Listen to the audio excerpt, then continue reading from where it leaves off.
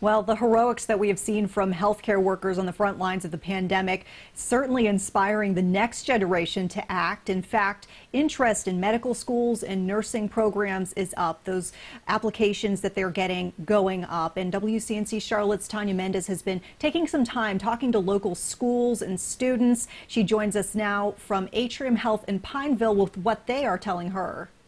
Day after day, we highlight what's happening in the hospitals like this one behind me. You hear from the medical professionals and the doctors. Meanwhile, all of us are sitting at home, and more people are watching and saying, I want to help too.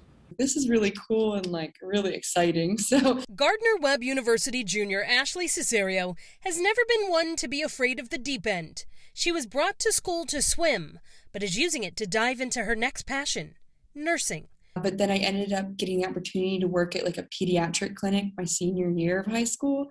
And I really, really enjoyed that. The number of students like Cesario who are choosing careers in the medical profession climbing during COVID. I feel like the pandemic and watching what people are doing has almost like maybe it created a rise in people of like who they're like, oh, I want to be able to help in some way if this ever happens again.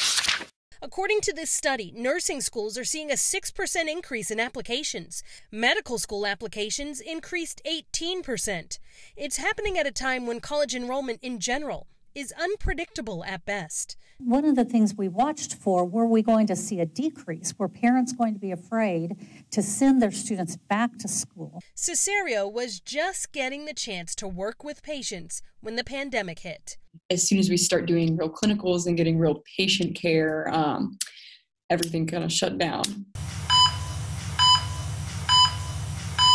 After spending the last year on the sidelines, watching the heroics in healthcare, She's convinced now, more than ever, that this is the career she wants.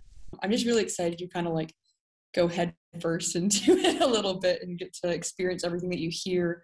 And even if people haven't applied yet, there's definitely still a lot of curiosity at home. Google says, How do I become a nurse? was one of the most searched questions on their website last year. Reporting in Pineville, I'm Tanya Mendis, WCNC Charlotte.